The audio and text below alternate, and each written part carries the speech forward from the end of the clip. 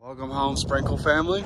As you walk into your home, you can see we've started on all the rough-ins. So we got the plumbing taken care of. We're working on the electrical next.